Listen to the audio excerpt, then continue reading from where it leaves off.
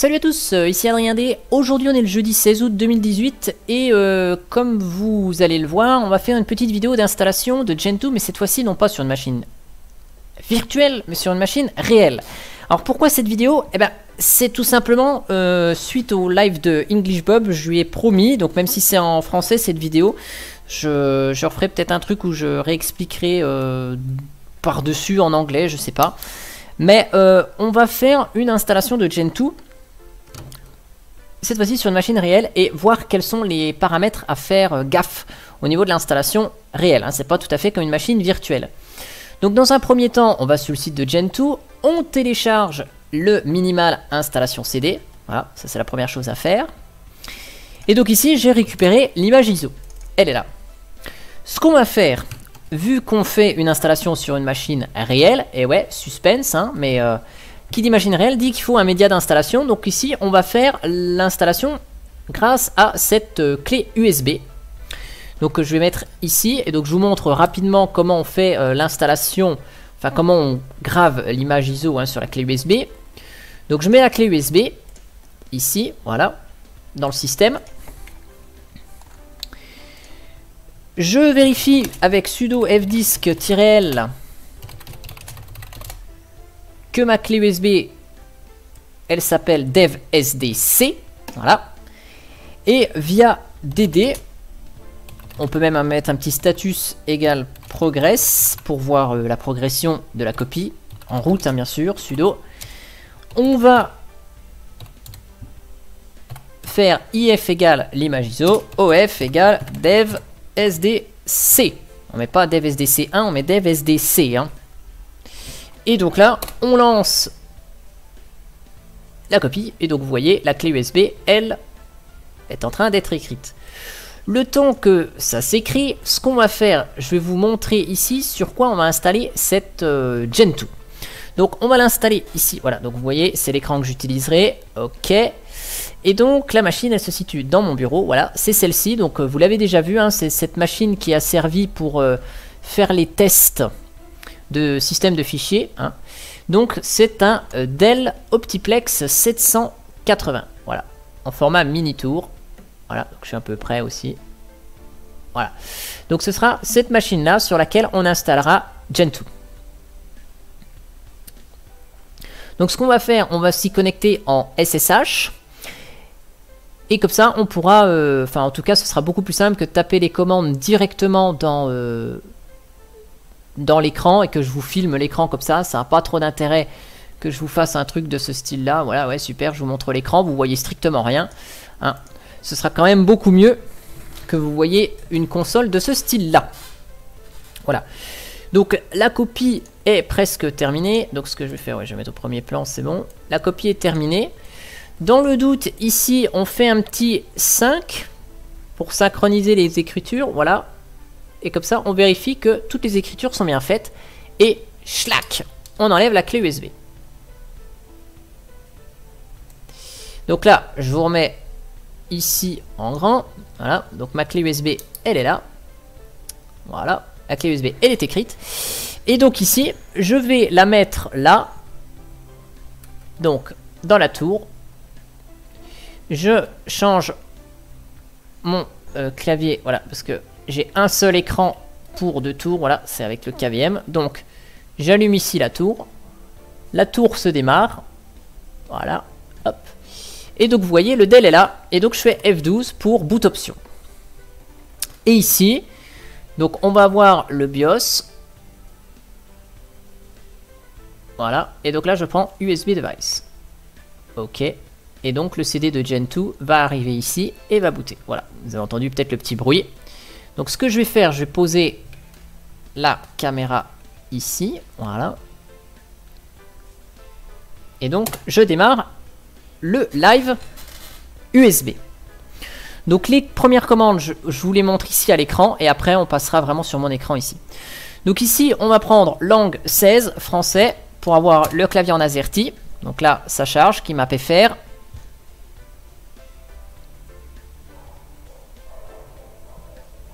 Voilà. Et donc la Gen 2 démarre.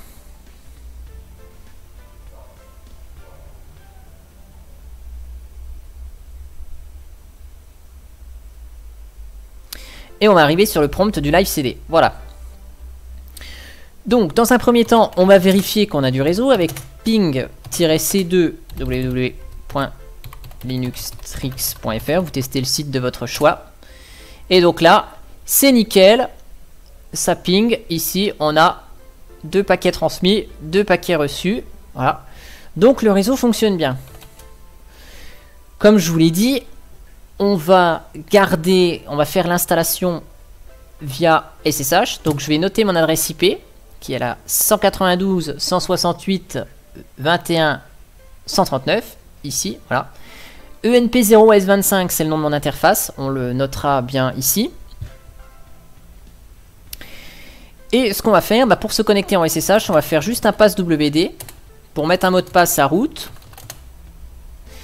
Et on va démarrer SSHD. Voilà. Hop. Et donc là, hop, l'écran, je le remets sur l'enregistrement, voilà, qui est en cours. Et donc, on va se connecter ici, directement la machine, avec un SSH route 192 168 21 139. On met un petit coup le mot de passe. Et donc là, on est bel et bien sur le live CD.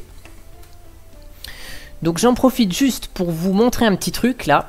Il faut bien connaître le matériel sur lequel vous êtes. Donc ici, je vais récupérer juste Inksy, hein, qui est logiciel, qui est un logiciel assez sympa. Il n'est pas livré dans le live CD, mais si vous connaissez votre matériel, ça va. Ici, je vous montre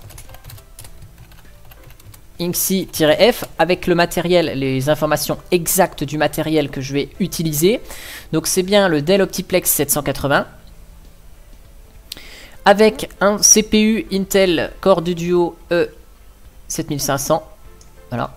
Donc ce qui est important, c'est de savoir quel est le matériel qu'on a pour configurer plus tard notre noyau. Donc ici, on a une carte graphique Intel. Bon, il n'y a, pas de, a pas de graphisme, hein, donc euh, c'est normal qu'il nous renvoie rien du tout. La carte son, donc c'est de l'Intel.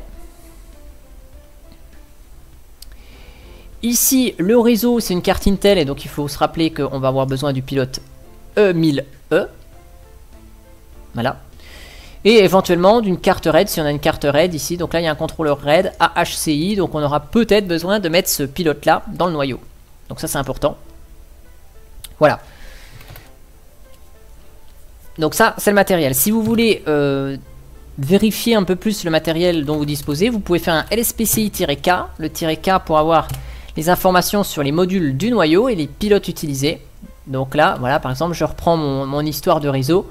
Parce que c'est vraiment le plus important. Si on loupe un pilote euh, son, on peut s'en charger plus tard. Par contre, si on loupe un pilote réseau, on ne peut pas forcément reprendre... Euh, euh, on ne peut pas installer de nouveaux logiciels, enfin on n'a pas de connectivité, on n'a rien du tout, donc on ne peut pas installer ou fabriquer d'autres choses. Donc là, pour l'Ethernet controller, ici, on voit que le pilote, c'est à nouveau bien le E1000E. E.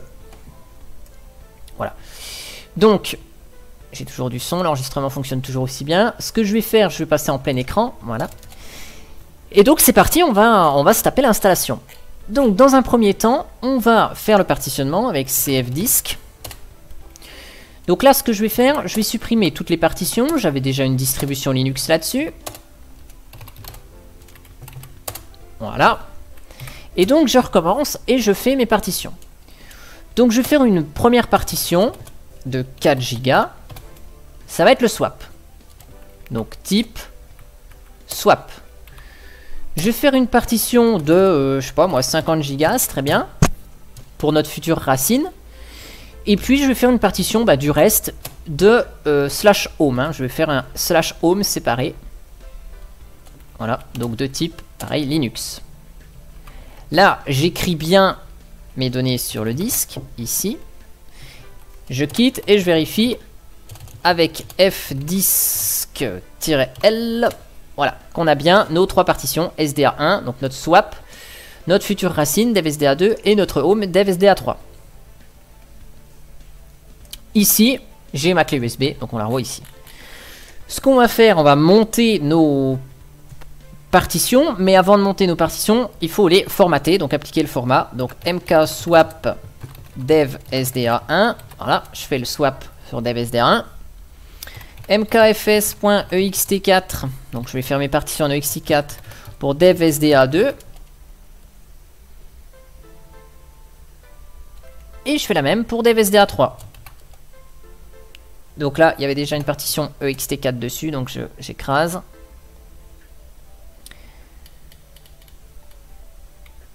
On va ensuite donc monter nos partitions dans l'arborescence. Donc si on va dans MNT, on va travailler dans le dossier Gen2. Donc on va monter dev SDA2 qui est notre racine dans MNT Gen2. Vu que je vais faire un slash home séparé, je crée mon MNT Gen2 home à l'avance. Et je monte dev SDA3 dans MNT Gen2 home. J'en profite pour activer avec swap on dev SDA1. Voilà, comme ça je profite du swap pendant ce temps-là. On vérifie la date. Donc là, on n'est pas à l'heure du tout. Je me remets en pas plein écran. Donc il est 16h19. Donc la date, c'est au format mois, mois, jour, jour, heure, heure, minute, minute, année, année, année, année. Donc ici, mois, mois, 08. Jour, jour, on est le 16. Heure, heure, il est 16h. Et les minutes, 20 de l'année 2018. Voilà, 16h20. Donc là, l'heure est bonne. Ensuite, on va récupérer les deux archives qui nous intéressent. Stage 3 qui contient l'ensemble du système et Portage la test qui contient l'ensemble de euh, portage. Donc on va dans MNT Gen 2 et on va récupérer ici sur le site, donc là où on a récupéré le CD, l'archive stage 3 en AMD, enfin en 64 bits. Hein. Copie l'adresse du lien. Voilà. Le temps que ça télécharge, on va chercher au passage donc portage. Donc portage, c'est sur distfilesgen2.org. C'est dans l'onglet, dans le dossier snapshot, et là vous prenez la dernière version de portage, donc vous embêtez pas, portage la test. On récupère. Et on la récupère aussi. Voilà. Maintenant on a nos deux archives. Ouf tranquille. On va extraire dans un premier temps, donc, l'archive stage 3. Donc, X pour extraire, J majuscule, qui est facultatif d'ailleurs, parce qu'on est en tar XZ, on est compressé en XZ, V pour mode verbeux, comme ça vous allez voir ce qui va se passer, P pour préserver les permissions, F pour le fichier, qu'on va mentionner juste après, stage 3. Sinon, il nous, il nous fait ça sur la console, donc c'est pas intéressant. Donc là, on extrait l'ensemble du système stage 3. On peut ajouter un argument que j'ai pas mis, hein, c'est x attrs pour euh, conserver les attributs étendus. C'est facultatif, donc je le fais pas ici. Ensuite, on va extraire, pareil, de la même manière, portage. Sauf qu'on va lui spécifier que c'est dans le dossier slash USR. Enfin, ce sera dans le USR qu'on va extraire ça. Donc, de la même façon, on fait tar xjv euh, X, J, V, F, portage la test. Et attention, là, on va préciser qu'on va lui dire non, tu fais pas ça là, mais tu fais ça dans MNT Gen 2 USR. Je suis en train de voir qu'il y a une petite coquille dans mon tuto que j'ai sous les yeux à côté. Donc je corrigerai ça.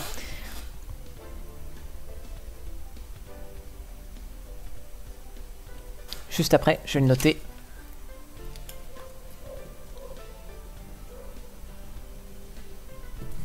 Voilà.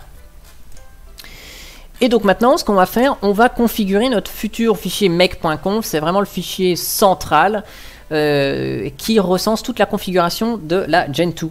Donc, avec nano-w, on va éditer mnt gen 2 etc portage mec.conf.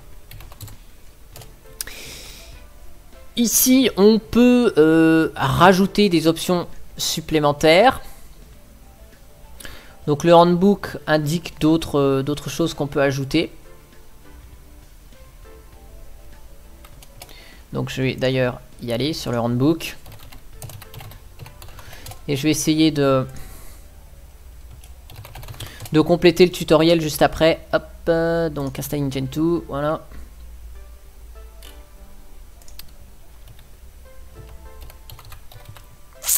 Voilà, donc ils nous disent qu'on peut ajouter m arch égale natives et ajouter ceci. Donc, je vais le prendre. Il faudra que je modifie dans le tutoriel aussi. Donc, hop. Hop, voilà. Ensuite, on va spécifier des uses. Donc les uses, c'est ce dont on aura besoin pour... Euh, c'est les use flags, hein, ce qu'on aura besoin. Donc je vais mettre bindist et Python. Voilà, on a besoin de ces deux-là. Ici, il y a la variable makeOPTS qui euh, correspond à... Euh, je veux dire, au nombre de jobs qui vont être utilisés pour la compilation. Donc en principe, c'est J-J et un chiffre. Donc ici 3 parce que c'est nombre de CPU, enfin nombre de cœurs plus 1. Donc J3. Et ensuite, si on veut notre système en français, vous mettez linguas FR, ça va télécharger les traductions françaises pour les anciens logiciels. Et maintenant, il y a une nouvelle variable qui est LDCN, qu'on va définir de la même manière. On définira plus tard, lors de l'installation de la pile graphique, les variables video cards et input devices qui seront euh, nécessaires pour interagir avec euh, le serveur X. Donc là, j'enregistre. Juste avant de chrouter, hein, de passer dans notre nouveau système, on va euh, sélectionner des miroirs proches qu'on va ajouter dans le mec.conf avec mirror select, petit i, petit o, et tout ça on va y rediriger dans mnt, gen2, etc, portage, mec.conf, voilà. Donc là on va prendre des miroirs qui sont plus ou moins proches de chez nous, donc hop, France, France. Et France, voilà. Ok. Et donc on vérifie que dans le fichier mnt, donc gen2, etc, portage, mec.conf, on a bien les miroirs qui sont ici. Donc là, c'est parfait. On a besoin aussi, donc ça c'est nouveau, c'est deux commandes qu'il faut euh, exécuter maintenant, c'est copier la configuration des dépôts de Gen2 dans le système. Donc on crée de manière récursive un -p le dossier mnt gen2 etc portage repos.conf et on copie donc le fichier de config qui est dans mnt gen2 usr share portage config repos.conf dans mnt gen2 etc portage repos.conf et on l'appelle gen2.conf voilà ça c'est nécessaire donc on le fait Juste avant d'installer euh, notre euh, système et de passer dans le chroot, on va copier les informations DNS avec un lien symbolique, donc cp-l etc resolve conf dans mnt gen2 etc. Donc ça c'est important, sinon on n'aura pas de résolution de nom et du coup on pourra rien installer. On va ensuite monter les systèmes de fichiers spéciaux. Donc il y a plusieurs euh, syntaxes hein, pour faire ça. Moi je le fais ainsi. Donc mon-proc slash proc dans mnt gen2 proc. On monte de la même manière mount-r bind dev dans mnt gen2 dev. Et on fait la même chose avec 6. Et maintenant qu'on est prêt, on rentre dans notre chroot via la commande chroot, bon change root, hein, on change de racine. On prend mnt gen2 et on va utiliser le shell bin bash. Bash. Voilà. Et donc là, on est dans notre futur système. Donc on va mettre à jour tout ce qui est variable d'environnement avec env update. on rafraîchit le fichier de profil via source etc profile. Et on va changer notre prompt. Donc le prompt c'est PS1, c'est dans la variable PS1 pour bien nous rappeler qu'on est dans le chroot. Donc euh, chroot. Donc on écrit chroot devant la variable PS1. Voilà, et donc là c'est écrit chroot. Ensuite, on va sélectionner notre profil via E select profil list. Donc là, on a l'ensemble des profils qui sont disponibles chez Gen2. Donc, le 13, c'est euh, plus utilisé. Le 17, c'est le nouveau profil. Donc vous avez celui-ci, si on reste en non graphique. Si on passe en graphique, on prendra ce profil-là, le desktop. Ici, on a la petite étoile, ça veut dire que c'est bien le 12 qui est sélectionné. Après, il y a bien d'autres euh, profils qui sont assez, euh, qui sont assez euh, explicites. Donc là, on va resélectionner exprès manuellement le profil numéro 12 pour que vous voyez la commande select profil 7 12. Et donc si on relance la commande select profil list, on confirme bien que la petite étoile est toujours bien sur le bon profil. Ensuite, si on a envie, on peut faire une mise à jour du euh, world, hein, donc de l'ensemble de la distribution. Mais ça prend du temps, donc on va pas le faire. Là, on va générer tout ce qui est local et compagnie.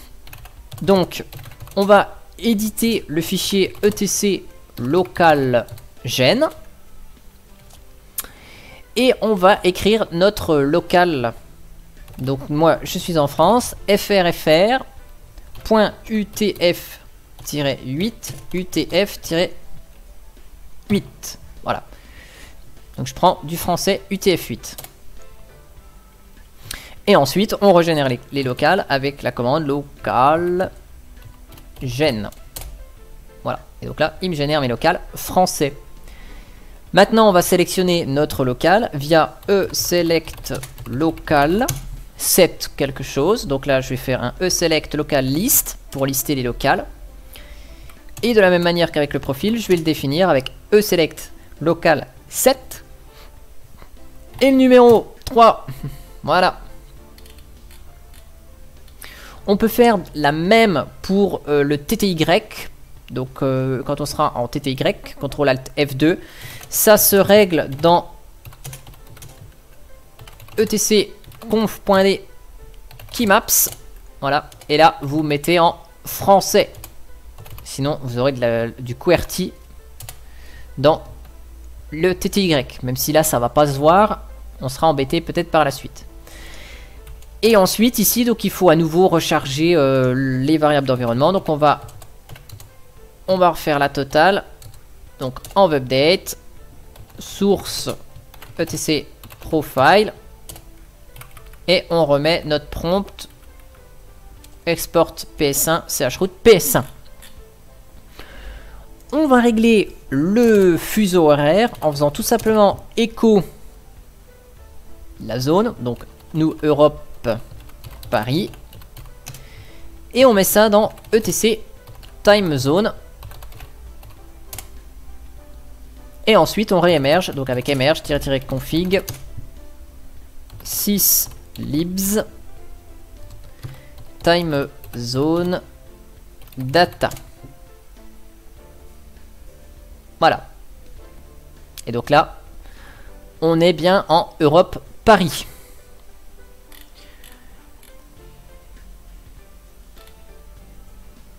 Ensuite, alors là, j'ai mis... Je paramètre le, le fstab ici. Bon, on peut le paramètre un peu plus loin. Je vais le paramétrer là, fstab. Donc je vais remplir le fichier fstab. Donc je rappelle qu'on a dev sda 1 qui est le swap, donc non swap sw 0 0. On a dev sda2 qui est la racine en ext 4. Donc là, on va mettre default no a time au niveau des options 0 1. Et puis dev SDA 3, c'est notre point de montage slash home. En EXT 4 aussi. Je mets les mêmes options, default no at time et 0, 1 de la même manière et j'enregistre. Je vais juste vérifier parce que j'ai un petit doute. Le swap c'est bien devsda, hein, oui. Que je fasse pas de bêtises. Ok. Donc maintenant on va arriver à l'étape la plus cruciale, c'est euh, la configuration du noyau. Donc on va émerger le noyau. Donc gen2 source, ça ce sont les sources du noyau. On peut émerger gen kernel si on a envie par la suite, hein, next si on veut le faire euh, automatiquement. On peut installer PCI utils pour diagnostiquer et avoir la commande lspci. Et on va surtout utiliser Linux firmware. On aura quelques firmware supplémentaires. Donc là, il va nous installer un Gen2 Source 4.14.61. Hop, voilà. PC Utils et Linux Firmware.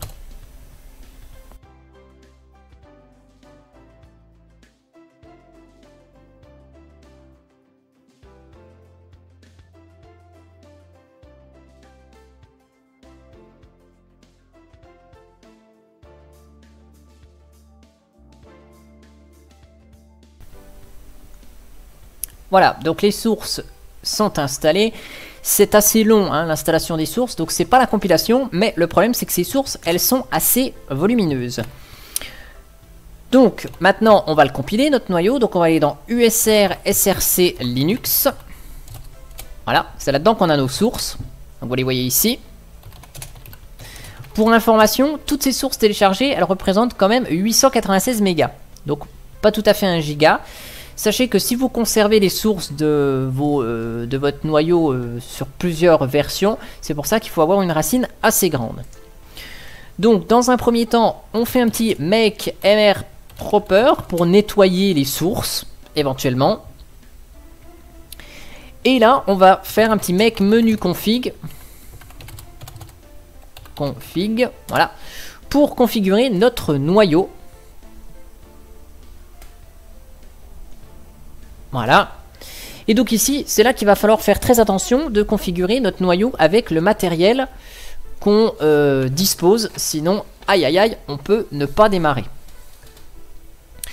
Donc ce qu'on va faire, on va aller ici dans, donc là, euh, Gen2 Linux, c'est les petites options, donc on va les laisser. Ensuite, donc, 64 bits, on garde. Dans General Setup, Ici, vous pouvez ajouter euh, des petites euh, bricoles, hein, local version. Par exemple, tiens, on va, on va ajouter Adrien à la fin du noyau pour dire c'est moi qui l'ai fait. Si vous voulez pas, euh, si vous voulez pas utiliser de initramfs par la suite, vous pouvez désactiver ici initram file system and ram disk. Voilà. Donc si vous utilisez Gen Kernel, vous le conservez. Donc moi, je vais le laisser ici.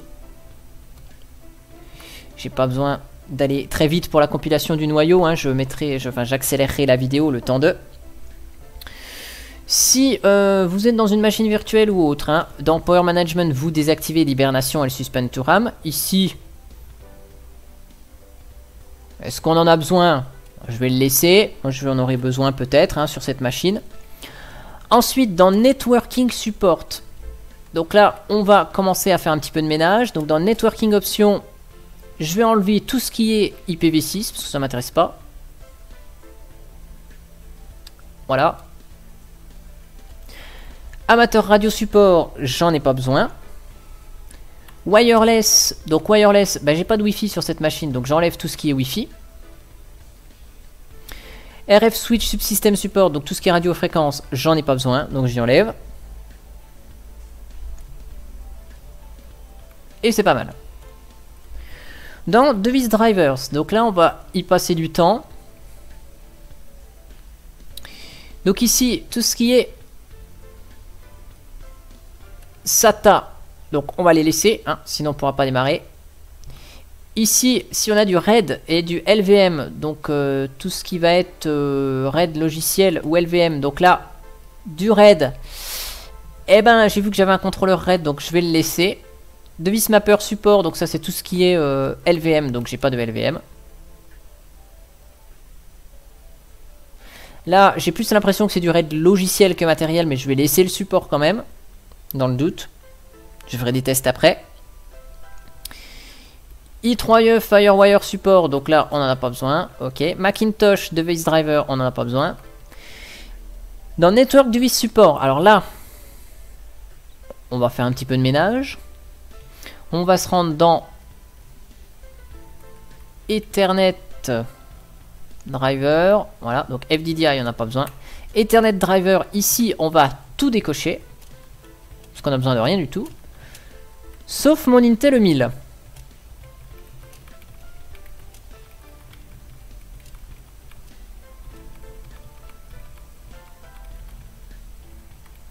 Alors, hop, voilà.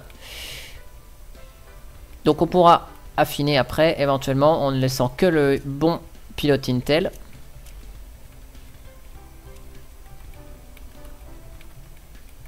Voilà, Realtek, j'ai pas, Samsung, hop, hop. Là, ça fait un peu de ménage. Voilà.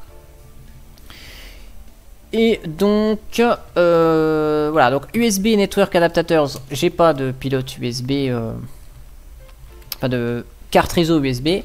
Dans Wireless, eh ben j'ai pas de Wi-Fi, donc je décoche tout. Voilà. Donc là, on sort d'ici. Ensuite, dans Input Device Support, donc on va enlever des petits trucs qui nous servent à rien du style les joysticks gamepad j'en aurais pas besoin. J'ai pas de tablette. J'ai pas d'écran tactile. Là dedans dans Miscellaneous j'ai rien de tout ça donc je désactive tout. Hop voilà.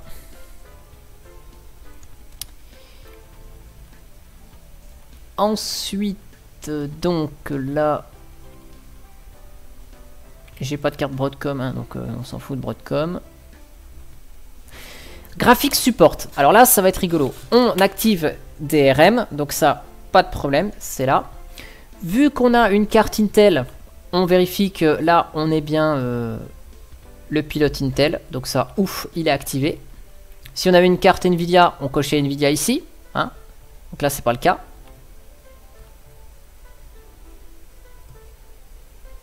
Donc là, c'est bon. Boot up logo, on s'en fout même.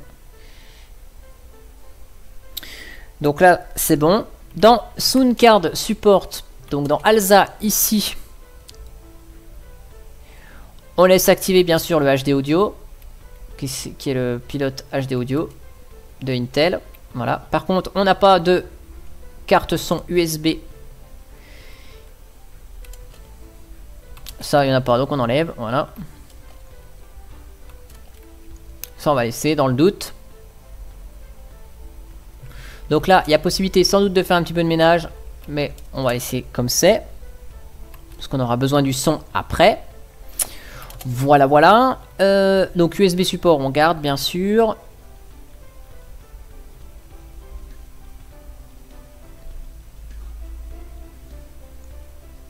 Et donc Android, il n'y a rien, heureusement. Donc là, c'est pas mal. On a fini grosso modo ce qu'on avait à paramétrer dans les device drivers. Ensuite, ici, ce qu'on va faire, on va aller dans Security Options. Vu qu'on n'utilise pas SE Linux et que j'utiliserai pas SE Linux, je l'enlève.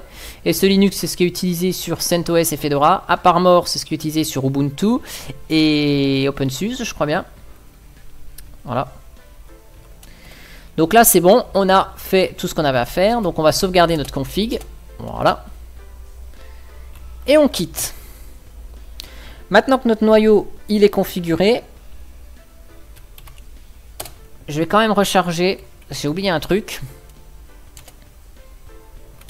C'est dans File System, voilà. Donc EXT4, j'en ai besoin. Je vais quand même enlever parce que je ne vais pas en faire donc là, DOS, FAT, NTFS, on va garder le support pour, euh, NTFS. Quand même. Si on veut mettre des clés USB qui sont formatées en NTFS, on garde le FAT aussi pour les clés FAT. Ça en active justement. Dans Miscellaneous File System, donc, on va enlever tout et on fait pas de NFS, hein, donc de, de système de fichiers sur réseau, hein, NFS. Voilà. Et maintenant, on va compiler. Donc mec-j3. Donc là, on compile le noyau. Nombre, le, J, c'est de la même manière que tout à l'heure. Hein. Mec J3, c'est nombre de cœurs plus 1. Donc deux cœurs sur cette machine, plus 1, ça fait 3. Donc là, hop, voilà, 16h47. J'accélère la compilation du noyau et je vous donne rendez-vous dans quelques instants une fois que c'est compilé.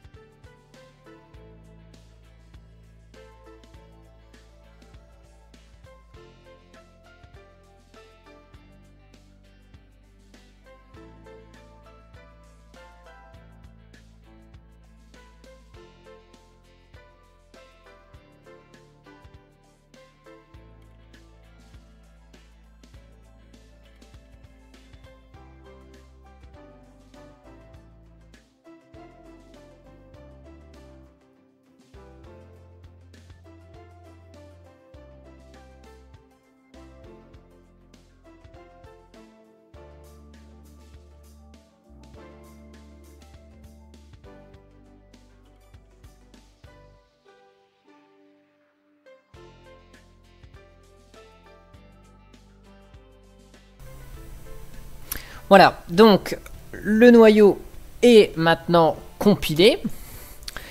Presque, voilà. Donc maintenant que c'est compilé, voilà, le prompt va arriver dans quelques instants. On va installer dans un premier temps les modules avec make module install, même si dans notre cas, il n'y a pas beaucoup de modules. Voilà. Et on fait un petit make install pour installer le noyau. Voilà. Et donc si on se rend dans boot, on vérifie ici. Donc on a bien notre fichier de config, tout ce qui est mapping et le noyau qui est ici. Donc bien sûr notre noyau il fait 6 méga 3. On peut pousser en optimisant au mieux mais ici c'est juste à titre d'exemple. Sachez que si jamais vous voulez remodifier quelque chose sur votre noyau, vous pouvez refaire un make menu config. Vous modifiez le truc qui vous intéresse. Donc par exemple ici, euh, allez, ce qu'on va faire, on se dit tiens, on n'a pas besoin de initram fs. Donc on peut supprimer cette option et si on recompile à nouveau le noyau, on fait un make-j3, il ne va pas recompiler tout le noyau, mais il va recompiler juste les modules et les choses qui a besoin de recompiler, c'est-à-dire que initramfs, il n'y a peut-être pas forcément besoin, allez, je vais dire n'importe quoi, euh, du euh, réseau. Donc les modules qui concernent le réseau ne seront pas euh, recompilés. Ou si par exemple vous avez oublié un petit, euh, si vous avez oublié un petit, euh, une petite option ou que vous voulez recompiler juste un petit pilote, eh bien il va vous recompiler juste la différence. Il vous recompilera pas tout. Voilà. Donc vous voyez, la compilation a été beaucoup plus rapide ici, puisqu'on a juste enlevé ce qui était, euh, enfin on a juste recompilé ce qui était dépendant de ce initram fs. Voilà. Et après, de la même manière, hein, vous refaites votre make module install et votre make install. Voilà. ls-l slash boot. Et donc là, vous voyez automatiquement votre ancien noyau qui était présent est sauvegardé avec une extension .hold. Comme ça, si jamais vous avez fait une bêtise et que vous ne pouvez pas redémarrer, eh bien, vous avez euh, la possibilité de redémarrer ce noyau juste avant. Hein. Donc il y a quand même une sauvegarde de ce point-là. Je voulais quand même vous en parler. Donc maintenant, eh bien, il reste plus guère grand chose à faire, si ce n'est personnaliser notre euh, nom d'hôte. Donc etc conf.d hostname, ça se passe là-dedans. Donc là, je vais appeler mon système Gen2. Ou tiens, non, Dell, c'est très bien. Et on édite aussi ça dans etc hosts. Voilà. Et donc là, vous mettez votre nom d'hôte. Donc, hop. Dell. Et après, vous pouvez laisser localhost. Hein. Ensuite, on vérifie que le paquet net ifrc est bien euh, installé. Donc, no replace. Net net ifrc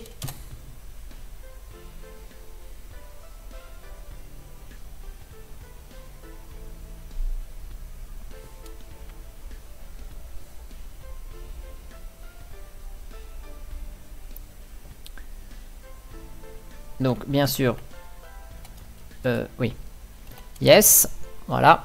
Donc comme ça, on le note comme étant euh, manuellement installé, ainsi il ne sera pas euh, supprimé par mégarde. Hop. Ensuite, bien évidemment, on va avoir besoin d'un client DHCP pour euh, notre réseau. Donc on va l'installer. Donc on va installer DHCP-CD.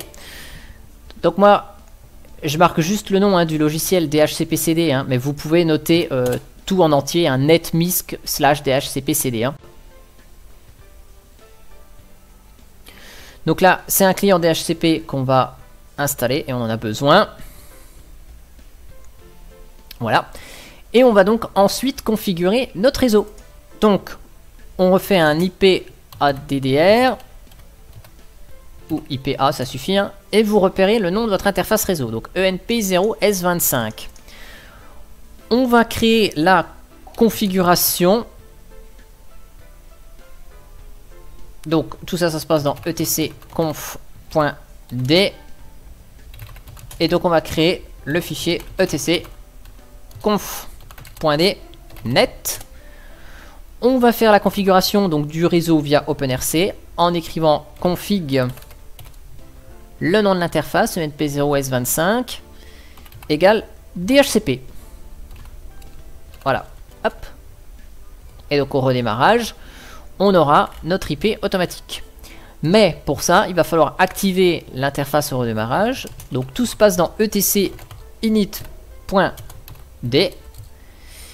Et donc chez OpenRC, ça fonctionne de cette manière. On fait un lien symbolique de net hello, enfin de l'interface qui pointe sur net hello, net.hello.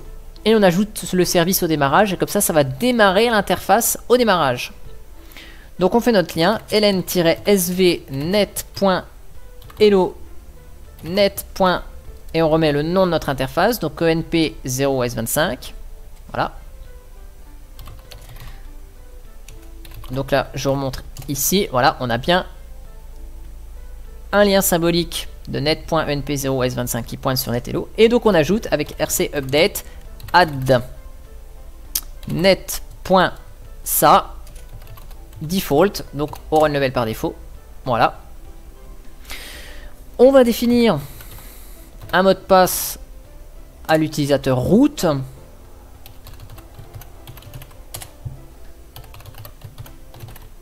Voilà qui est chose faite.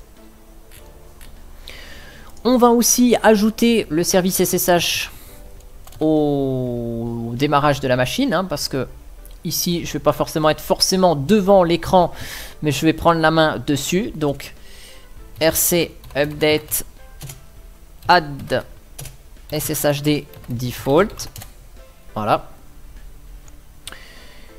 Je vais me créer un utilisateur, hein, tant qu'à faire. Donc, user add-m grand G. Donc, on va l'ajouter au groupe users audio. Plus tard, on voudra voir l'audio CD-ROM pour avoir accès au CD-ROM. Portage pour pouvoir utiliser la commande émerge pour simuler. Vidéo. et will pour avoir les droits sudo après. On spécifie le shell, bin bash, et notre utilisateur, on l'appelle Adrien. Voilà. On lui crée un mot de passe à notre utilisateur Adrien. Voilà.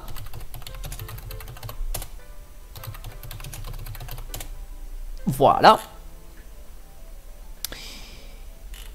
Et puis maintenant, eh ben, il ne reste plus qu'à plus qu'à installer Grub et après on va essayer de redémarrer et voir si tout se passe bien. Et après on ajoutera quelques logiciels euh, supplémentaires. Donc on va installer Grub via emerge-a grub. Yes.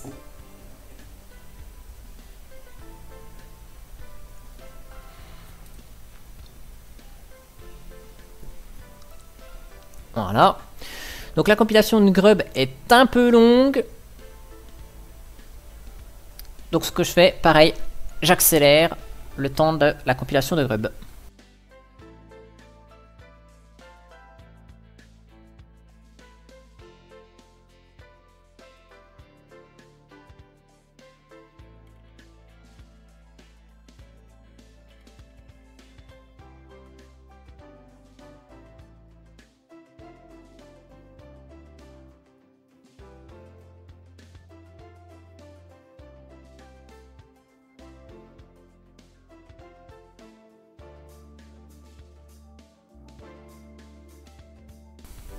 Il est installé maintenant, le chargeur d'amorçage. Enfin, maintenant, on va faire un petit grub-install dev SDA. Voilà, on va installer grub sur dev SDA.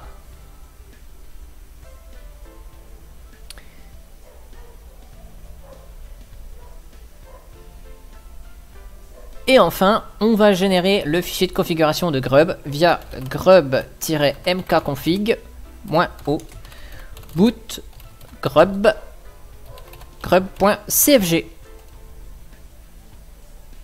Voilà.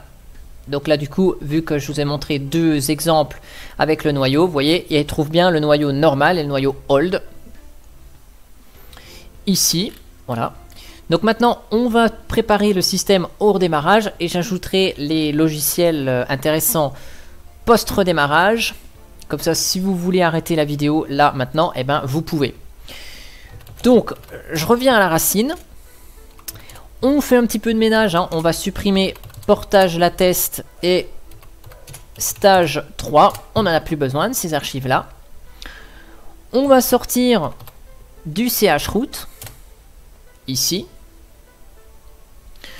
on sort du point de montage, on démonte l'ensemble des systèmes de fichiers de manière récursive de MNT Gen 2. Donc je le fais avec human-grand R. Voilà. Et donc ce qu'on va faire, eh ben, on va redémarrer. Donc qui dit qu'on va redémarrer, dit que je vais, hop là, ici, rebasculer sur l'écran. Là, voilà. Donc là, Hop, j'enlève le plein écran. Je vous reprends la webcam. Voilà, vous voyez l'écran. Et donc ici, bah, tout est installé. Donc je fais un reboot. Donc reboot ici. Voilà. Je reboot. vous voyez pas, c'est un peu flou, puis je tremble un peu.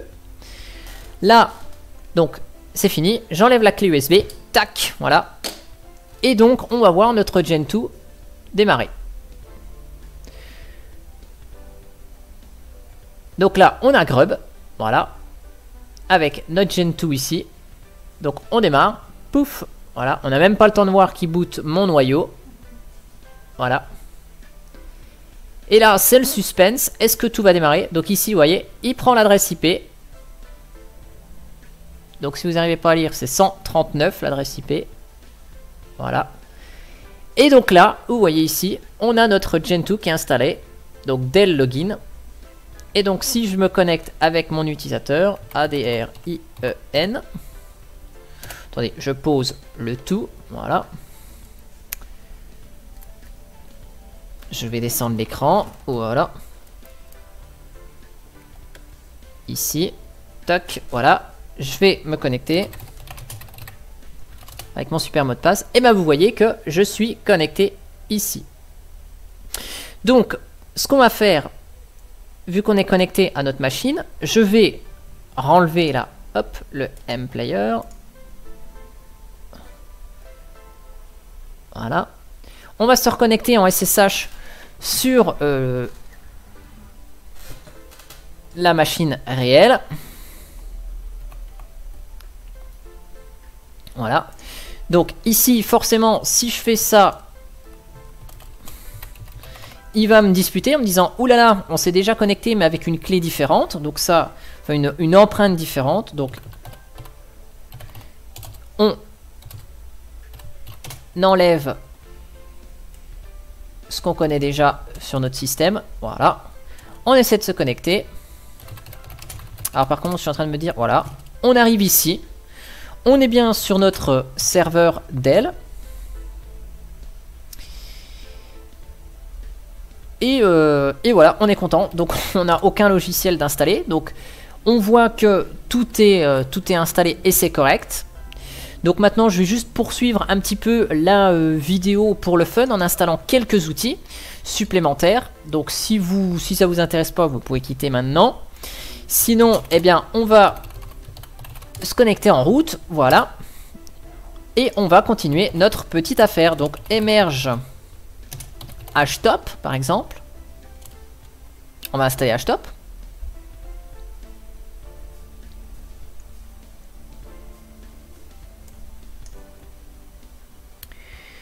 Et donc là, HTOP, ça devrait être assez vite installé. Donc vous, allez, vous avez remarqué un truc, quand j'ai fait l'installation, voilà, il télécharge et c'est très, euh, c'est assez verbeux et notamment on a, vous voyez, toutes les lignes qui concernent la compilation.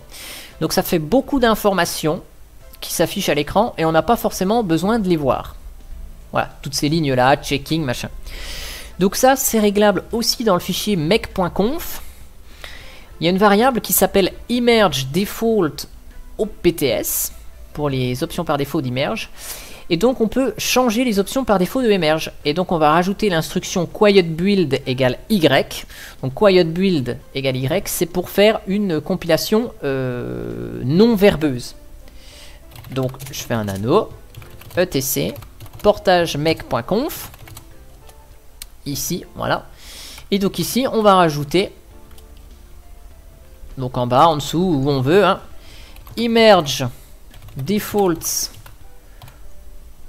default OPTS égale donc là on remet les options qui existent déjà. Donc on rappelle la commande et on ajoute celle que l'on souhaite après donc on va mettre ici tirer tirer quiet build égale y on enregistre et donc là, on va installer un euh, deuxième euh, logiciel. Par exemple, on va installer quelques, quelques outils. Vous allez voir, on va pas avoir ces, ces informations de compilation. Par exemple, on va installer un planificateur, planificateur de tâches. Donc, Ah, donc moi j'adore Vixi Cron. Après, il y a plusieurs logiciels hein, pour, euh, pour ça. Donc là, moi je prends Vixicron et donc vous voyez ici c'est marqué Emerging Installing et vous avez plus les instructions qui s'affichent à la console. Donc ces instructions elles sont bien souvent pas très importantes et le truc c'est que ces instructions eh bien le fait de s'afficher eh bien elles prennent du temps et des fois les installations sont un peu plus longues parce que bah, il faut l'afficher le texte. Voilà. Donc là je vais ajouter Vixi cron au run level default. Je vais installer aussi R6 log, log rotate. Donc ils sont un logiciel qui va permettre, donc R6 log c'est pour bah, avoir la journalisation. Et Long Rotate, eh bien, c'est un petit euh, utilitaire bien sympathique qui permet de faire tourner les logs. Donc toutes les semaines, vous avez euh, 4, donc vous avez 4 jeux de log et toutes les semaines ça tourne et surtout ça compresse aussi. Donc si vous avez besoin de retrouver quelque chose, eh bien, vous pouvez regarder dans des petits fichiers et non pas des gros fichiers. Voilà. Donc là, de la même manière, j'accélère quelques instants le temps de l'installation de R6log. C'est pas très long, mais ça vous évite d'attendre.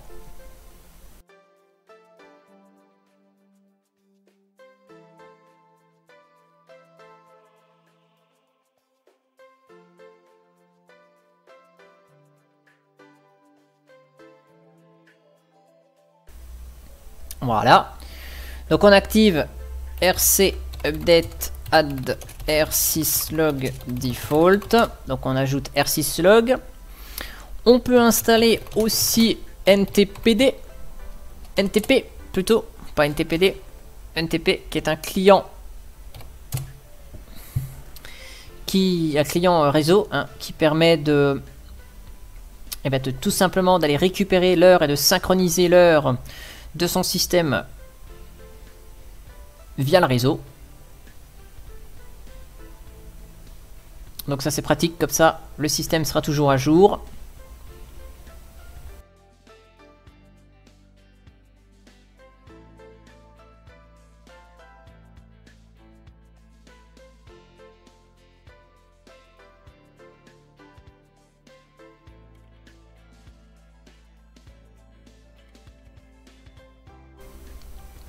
Voilà, donc la, combinaison de NTP est un petit chouïa long. Donc on démarre tout ça. Ntpd ntpd start. Rc update. Add ntpd voilà. Et pour terminer eh bien on va installer euh, quelques petites applications bien utiles comme par exemple gen toolkit portage utils donc ça c'est bien utile euh, Hashtop, je l'ai déjà installé tout à l'heure. On va installer EX qui nous permettra de faire des recherches rapides. Et puis App Misc Screen. Donc là, Screen c'est un multiplexeur de terminal. Là, je mets carrément le nom complet hein, de l'application AppMisc Screen parce que malheureusement, il existe une autre application qui s'appelle Screen to Seul. Et si on précise pas pour le coup la catégorie, là, le AppMisc, eh bien, Gentoo ne sait pas quel screen installer.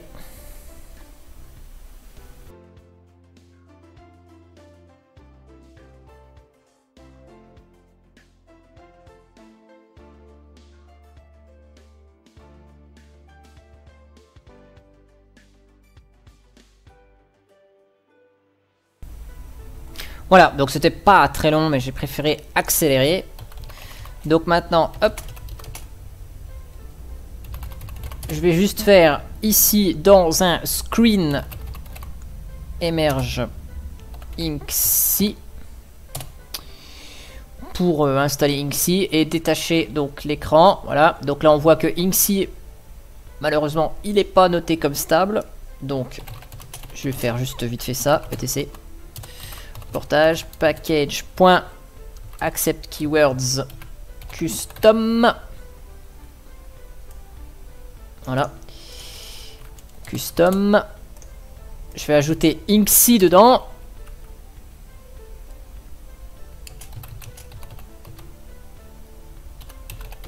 et je vais faire un EX5 juste après, comme ça il me rafraîchira la base de données EX, voilà. Donc, je vais conclure ici en, vous lançant Hashtop. Donc, vous voyez, on a une Gen 2 qui est euh, installée. Donc là, la vidéo, euh, ça fait 1h24 que ça enregistre. Donc, pour vous, ça a été beaucoup plus court, évidemment, puisqu'il y a eu des passages qui ont été accélérés. Et donc, vous voyez, en 1h30, donc, on a installé une Gen 2 sur, son, euh, sur un Dell, un Dell Optiplex 780. Voilà. Donc, vous avez vu, c'est globalement à peu près la même chose que si on installait ça en machine virtuelle. À une petite exception près, bah, c'est que il faut faire attention. Voilà, si vous avez un pilote bien précis euh, sur votre euh, machine, hein, un pilote euh, de carte RAID ou si vous avez un pilote précis de carte réseau, hein, il ne faut pas tout désactiver et laisser uniquement Intel activé, mais il faut activer juste le pilote qui vous convient. Voilà. Et donc ici, voilà, je vous remontre parce que j'ai vu que l'installation de Inksy était terminée. Voilà, donc ça, c'est le système qui est installé. Une fois, euh, donc au bout d'une heure 25, et donc vous voyez ici, il a bien chargé le module qui va bien de son Intel. Voilà, il a bien chargé le module réseau et on a une connexion. Donc voilà, et eh ben en tout cas, j'espère que cette euh, vidéo, elle euh, vous aura plu. Si vous avez des questions, et eh ben n'hésitez pas à poser vos questions. Hein, euh, j'y répondrai dans les commentaires comme si je peux. Hein. Pas forcément tout de suite dans l'immédiat, mais voilà, j'essaierai de répondre au mieux aux questions. Dans tous les cas, j'imagine que si jamais vous avez des questions, Serge risque de passer sur cette vidéo, donc il pourra répondre également à vos questions. Bref, j'espère que tout ça, eh ben, ça vous aura plu. Et moi, eh bien, je vous dis à bientôt pour une prochaine euh, vidéo. Et euh, bien sûr, euh, cette vidéo d'installation de Gentoo, eh bien, je poursuivrai sur du matériel réel, hein, en vous expliquant comment installer Xorg et puis comment installer un environnement de bureau. Probablement, je choisirai Maté, évidemment, puisque là, je, on ne sera pas en live, hein, donc on pourra couper la vidéo euh, ou accélérer en tout cas la partie de compilation de maté. Donc ça, il n'y a pas de souci. Allez, à ciao